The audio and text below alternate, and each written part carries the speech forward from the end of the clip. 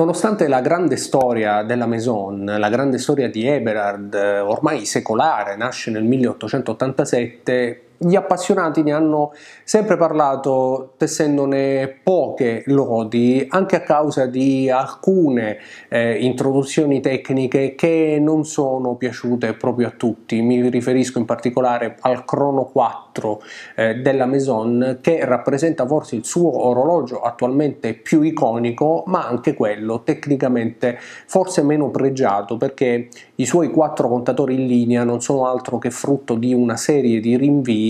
che ai puristi della tecnica eh, non piacciono tanto. Eppure io ne ho avuto uno, è un orologio che ho amato, però devo anche dire che ho un particolare debole per Eberhard, forse legato a ricordi da ragazzo, da adolescente, quando vedevo questa elegante insegna Eberhard Co. Eh, che eh, campeggiava sulle vetrine di un lussuoso negozio eh, nel centro di una città signorile come Matera in Basilicata. Insomma, io ho un legame particolare con la Maison, anche se cercherò di essere oggettivo come sempre al 100%. Ne parliamo però tra pochi secondi dopo la sigla. Iniziamo.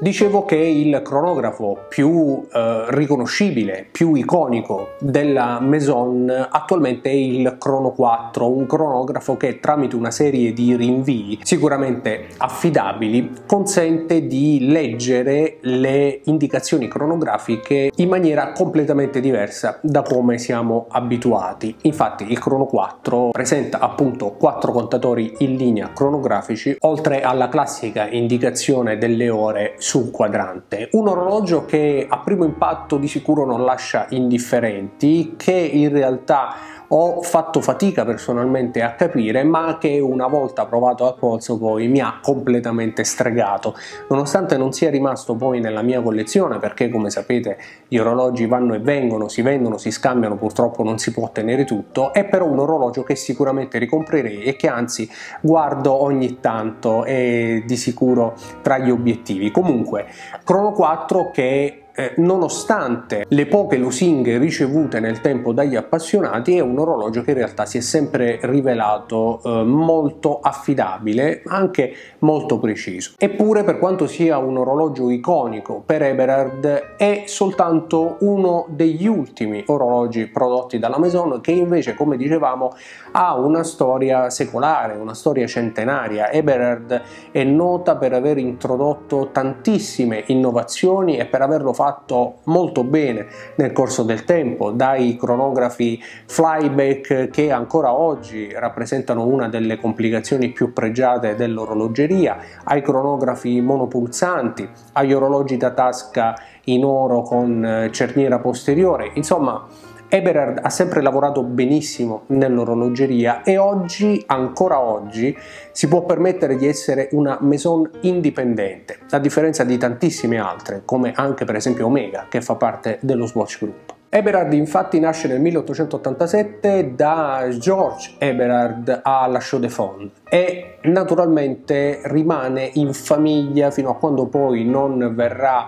eh, purtroppo venduta ad investitori stranieri, ma questo è destino soprattutto nel corso di tanti decenni, nel corso di generazioni,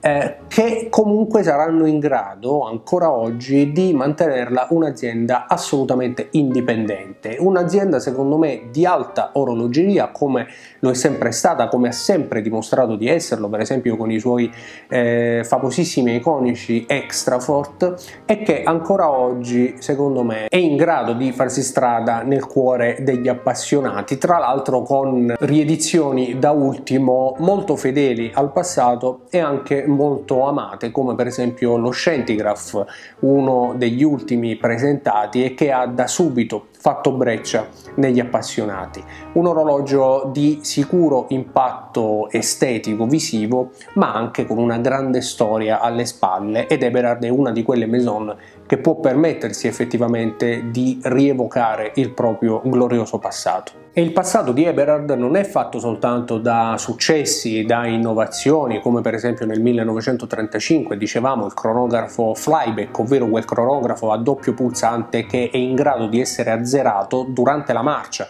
e non necessariamente solo dopo lo stop. Ma tutto questo passa anche dalla gloriosa Regia Marina italiana. Negli anni 30 infatti parte della produzione cronografica più pregiata della Maison è destinata ed assegnata agli ufficiali della Regia Marina Militare Italiana che erano impegnati naturalmente nelle operazioni militari dell'epoca. Un passato, un'assegnazione assegnazione questa, una collaborazione con la Regia Marina che non può far altro che dimostrare la grande importanza della Maison, la grande importanza di Eberhard, soprattutto all'epoca quando era nelle mani di Maurice Eberhard, figlio di George, il fondatore appunto, che nel 1887 diede vita alla Maison. E la storia di Eberhard non può poi che passare per eh, forse il cronografo più iconico della Maison, quantomeno dell'era moderna, che noi appassionati anche più giovani ricordiamo e mi riferisco in particolare al Tazio Nuvolari,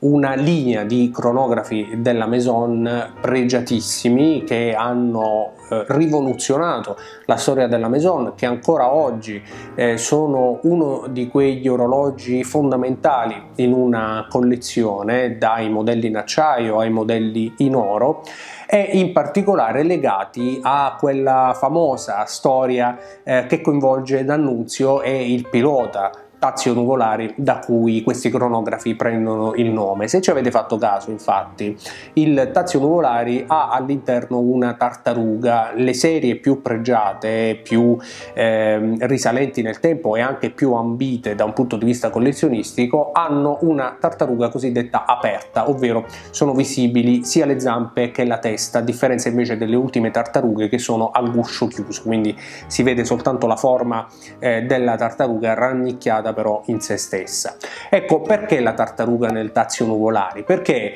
la storia, la leggenda vuole che D'Annunzio durante le corse che vedevano coinvolto eh, il più veloce pilota che conosciamo, Tazio Nuvolari, decise di omaggiarlo ironicamente alla D'Annunzio, insomma, dell'animale più lento del mondo, così da compensare la velocità estrema a cui Tazio Nuvolari era in grado di portare portare le proprie automobili. Ecco perché il significato di quella tartaruga all'interno del quadrante è legato al personaggio ed è legato naturalmente a Tazio Nuvolari e alla storia del cronografo della Maison. Insomma, perché comprare un Eberhard? Le motivazioni sono tante, possono essere personali, come dicevo, un legame particolare alla Maison, possono essere assolutamente patriottiche se vogliamo. Eberhard abbiamo detto che riforniva di cronografi gli ufficiali della Regia Marina Militare Italiana degli anni 30,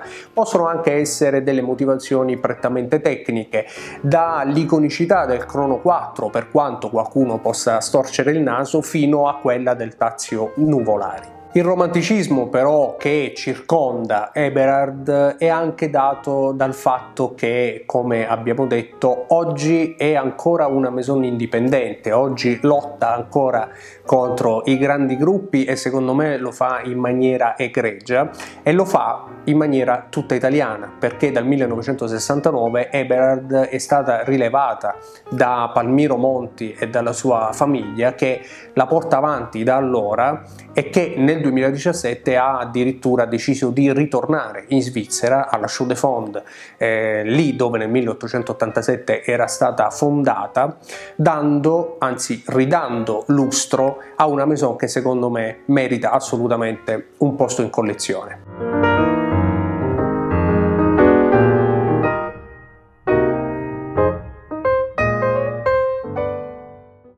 La amo particolarmente, però nei commenti vorrei sapere voi che cosa ne pensate, ne parliamo assieme come sempre, non prima di avervi ringraziati per essere stati anche in questo video con me nella nostra stanza degli orologi, se volete potete iscrivervi, noi invece ci rivediamo qui su TOC per una prossima puntata. Ciao!